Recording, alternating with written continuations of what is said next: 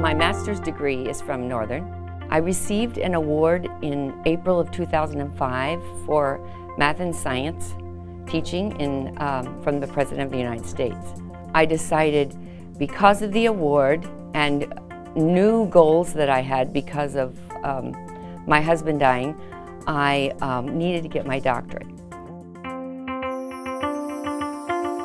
Somehow, I'm not sure how I became aware of a new program, a doctorate in, in integrated studies, and it was so beautifully flexible. Um, because I really wanted to study in integration with mathematics, um, and the program allowed me to study science, social studies, environmental ed, and mathematics. I don't know that I've ever heard of a program like it. This program allowed me to uh, do independent studies. I even went to Texas to take a class. Um, so I was able to put together a framework for a program that met my goals. I think they provide uh, the support that you need to um, complete the program.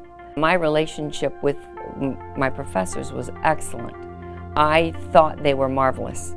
Um, and I teach for Illinois State University, Judson University, I've taught for several others, so I've had exposure and um, they come out on top every time. The placement of the order of my courses was particularly useful for my professional goals. My dissertation is the most unusual math dissertation you would ever see. It was the journey. It was a perfect match. Who I am today was made in those five years. All from the dream that gets placed in you when you're able to do something as difficult as a doctorate. It was amazing. It won't get any better than here. It won't.